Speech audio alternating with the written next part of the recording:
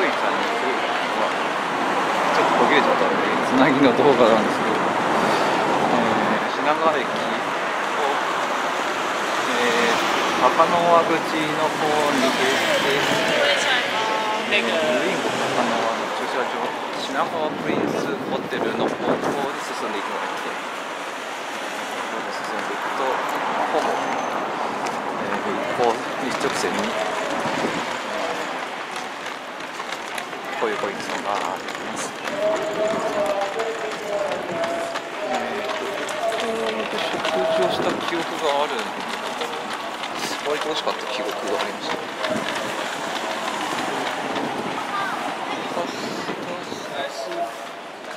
グリル鉄鉄レあちょっと酔ってるんですかね。マグロレース回ってないですけど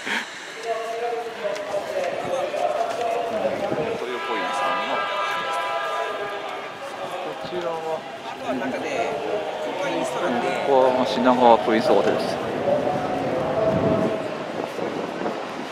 こには泊まりません。けど、えー、気にしないでお金気にしないで行けたら行けるようになったら品川プリンスホテルにどん。どん。泊まっていこうかないつのことやら達成しなきゃいけないですけど。早めにここにブラランシティ品川と書いてあるんでここに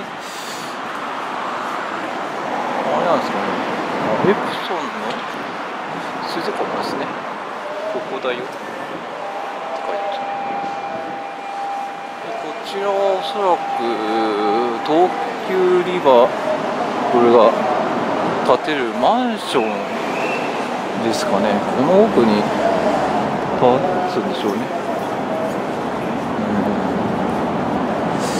うん。こんなところに住むってなんていくらで いくらだろうな。多分奥奥に近い金額ですよね多分ここら辺になるとね。うん。いくらで建つのか分かんないんですけど、えー、モデルルームができてますね。